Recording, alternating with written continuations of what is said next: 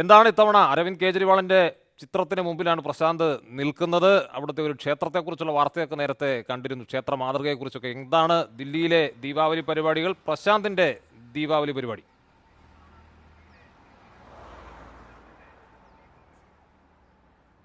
അബ്ജോദ് എന്തായാലും നമ്മുടെ ദീപാവലി ഓഫീസിൽ തന്നെയാണ്. ഇപ്പോൾ ഞാൻ നിൽക്കുന്നത് ത്യാഗരാജ സ്റ്റേഡിയത്തിന് മുന്നിലാണ്. ഇവിടെയാണ് ദില്ലി കി ദീപാവലി എന്ന് പറഞ്ഞ് അജിർ അരവിന്ദ് കെജ്രിവാളിന്റെ ഈ ആഘോഷവും മറ്റും നടക്കുന്നത്. അരവിന്ദ് കെജ്രിവാളും ഇത്തവണ ദില്ലിയിലെ ജനങ്ങളോട് ആഘോഷിക്കാൻ ആവശ്യപ്പെട്ടിരിക്കുകയാണ്. പക്ഷേ ജാഗ്രത പാലിച്ച് ആഘോഷിക്കണം എന്നാണ് മുഖ്യമന്ത്രിയും നിർദ്ദേശിച്ചിരിക്കുന്നത്. മാസ്കും മറ്റും ഉപേക്ഷിക്കരുത്. വലിയ ആൾക്കൂട്ടം ഉണ്ടാകരുത് എന്നൊക്കെയുള്ള നിർദ്ദേശം നൽകിക്കൊണ്ടാണ് ദീപാവലി ആഘോഷിക്കാനുള്ള നിർദ്ദേശം നൽകിയത്. ത്യാഗരാജ് സ്റ്റേഡിയമാണ്. ഇവിടെയാണ് ദില്ലി സർക്കാരിന്റെ പ്രധാന ആഘോഷങ്ങൾ നടക്കുന്നത്.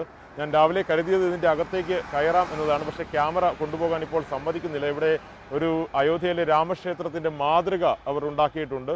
തെർമോക്കോളിലും പ്ലൈവുഡിലും ഒക്കെ ആയിട്ടാണ് ഈ മാതൃക ഉണ്ടാക്കിയിരിക്കുന്നത്. ഏതാണ്ട് അറുപത് അടി ഉയരവും നൂറ്റിപ്പത്തടി വീതിയിലുമാണ് ഈ മാതൃക ഇപ്പോൾ ഉണ്ടാക്കിയിരിക്കുന്നത്. ഇന്നലെ ഇവിടെ മുഖ്യമന്ത്രി മനീഷ് സിസോഡിയയ്ക്ക് വരികയും ചെയ്തു. എന്തായാലും ഇപ്പോൾ ദില്ലി സർക്കാരും നമുക്കറിയാവുന്നതുപോലെ തന്നെ പതുക്കെ മൃദു ഹിന്ദുത്വ നിലപാടിലേക്കും മറ്റുമൊക്കെ മാറുകയാണ്. ആ ഒരു സാഹചര്യത്തിൽ കൂടിയാണ് ഇത്തരത്തിൽ അയോധ്യയിലെ രാമക്ഷേത്രത്തിന്റെ മാതൃകയും മറ്റും നിർമ്മിച്ചുകൊണ്ട് അരവിന്ദ് കെജ്രിവാളും ദീപാവലി ആഘോഷിക്കാനുള്ള നിർദ്ദേശം നൽകിയിരിക്കുന്നത്.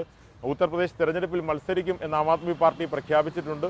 അയോധ്യയിൽ നേരത്തെ വലിയ റാലിയും മറ്റും എ നടത്തുകയും ചെയ്തു. അതിന് പിന്നാലെയാണ് ഇത്തരത്തിലൊരു നീക്കം അരവിന്ദ് കെജ്രിവാളിന്റെ ഭാഗത്തു നിന്നുണ്ടാകുന്നത് ഇനി പ്രധാനമന്ത്രി നരേന്ദ്രമോദിയുടെ ഭാഗത്തു നിന്ന് ഇന്ന് ജവാന്മാർക്കൊപ്പം ദീപാവലി ആഘോഷിക്കാനുള്ള ഒരു തീരുമാനമാണ് എടുത്തിരിക്കുന്നത്. ജമ്മു കശ്മീരിലേക്ക് പ്രധാനമന്ത്രി പോകും എന്ന സൂചനയാണ് ഇന്നലെ സർക്കാർ വൃത്തങ്ങൾ നൽകിയത്. രജൌരിയിലായിരിക്കും ആദ്യം പ്രധാനമന്ത്രി എത്തുക. നൌഷേരയിലായിരിക്കും ജവാന്മാർക്കൊപ്പം അദ്ദേഹം ദീപാവലി ആഘോഷിക്കുക എന്നതാണ് ഇതുവരെ കിട്ടുന്ന വിവരം.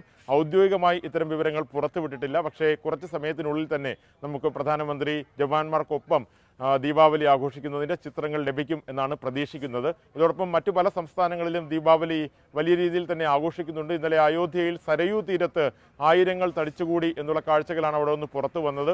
വലിയ ദീപാലങ്കാരമാണ് സരയൂ തീരത്ത് ഉണ്ടായിരുന്നത്. പ്രത്യേകിച്ച് തെരഞ്ഞെടുപ്പും ഒക്കെ നടക്കാൻ പോകുന്ന സാഹചര്യത്തിൽ അയോധ്യയിൽ ഇത്തവണ കൂടുതൽ വകിട്ടാർന്ന ഒരു ദീപാവലി ആഘോഷത്തിനാണ് അവിടുത്തെ സംസ്ഥാന സർക്കാരും തയ്യാറായത്. ഗുജറാത്ത് മുഖ്യമന്ത്രിയും ഇന്നലെ ഇന്ത്യ പാകിസ്ഥാൻ അതിർത്തിയിലെത്തി അവിടെ ജവാന്മാർക്കൊപ്പമാണ് ദീപാവലി ആഘോഷിച്ചത്. അങ്ങനെ പല സംസ്ഥാനങ്ങളും ദീപാവലി ആഘോഷിക്കുന്നു. കഴിഞ്ഞ തവണ നമുക്കറിയാം കോവിഡിന്റെ വലിയ ഭീഷണിക്കിടെയായിരുന്നു ദീപാവലി. ഇത്തവണ വിപണികളിൽ കുറച്ചുകൂടി ഒരു ഉണർവ് കണ്ട വർഷമാണ്. ജി വരുമാനത്തിലും മറ്റും കൂടുതൽ ഉയർച്ചയുണ്ട് എന്ന് കേന്ദ്ര സർക്കാരിന്റെ കണക്കുകൾ തന്നെ പുറത്തു വന്നിരുന്നു. ഒരു ലക്ഷത്തി മുപ്പതിനായിരം കോടി രൂപയോളം ജി എസ് ടി വരുമാനം കിട്ടി എന്നുള്ള കണക്കുകൾ കേന്ദ്ര സർക്കാർ പുറത്തുവിടുകയും ഒക്കെ ചെയ്തിരുന്നു. അതുകൊണ്ട് വിപണിയിലും ചെറിയ ഒരു ഉണർവുണ്ട്. കോവിഡ് രണ്ടാം തരംഗം കഴിഞ്ഞ് മൂന്നാം തരംഗം ഈ സമയത്ത് എത്തും എന്നാണ് എല്ലാവരും പ്രതീക്ഷിച്ചിരുന്നത്. അതില്ലാത്തതിന്റെ ഒരു ആശ്വാസത്തിലാണ് ഇപ്പോൾ രാജ്യം എന്ന കാര്യത്തിൽ സംശയമില്ല. പക്ഷേ അപ്പോഴും ജാഗ്രത പാലിച്ച് ഈ ആഘോഷങ്ങളുമായി മുന്നോട്ട് പോകണം എന്ന നിർദ്ദേശമാണ് സർക്കാർ നൽകുന്നത്. അബ്ദുൾ.